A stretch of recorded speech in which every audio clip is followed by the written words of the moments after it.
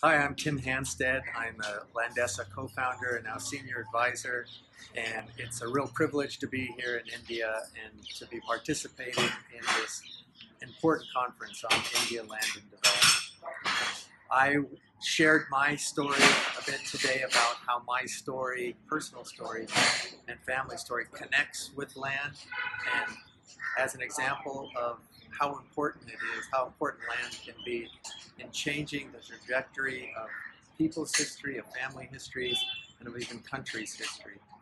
I also talked about the importance of land in India and talked briefly about eight related topics that I think need urgent priority uh, in India's development moving forward.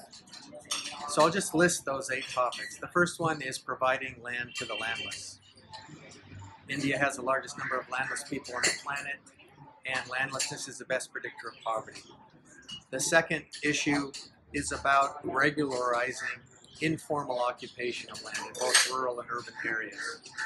Tens of millions of, of Indians occupy land for which they don't hold legal rights, and it's imperative that India go about regularizing those poor long-term occupants.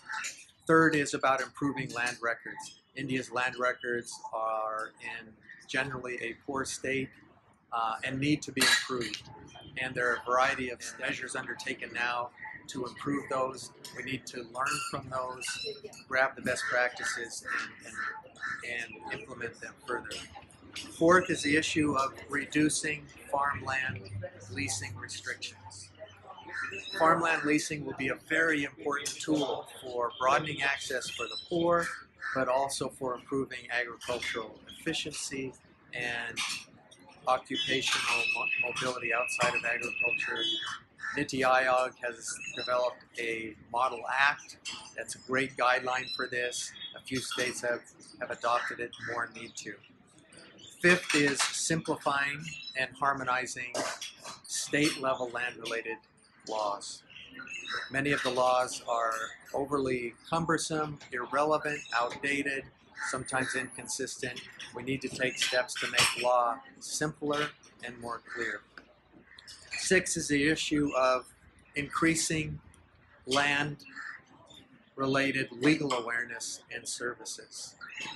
Uh, women in particular, but poor people generally, often we find have a low level of awareness about laws and their rights under law, and that needs to be improved so they can assert them. Uh, seventh is closing land data gaps. We have two important land data gaps across the world and in India, one having to do with evidence data gaps. We need to more researchers involved in the process of identifying what interventions are working, what is not working, uh, the second data gap has to do with foundational data.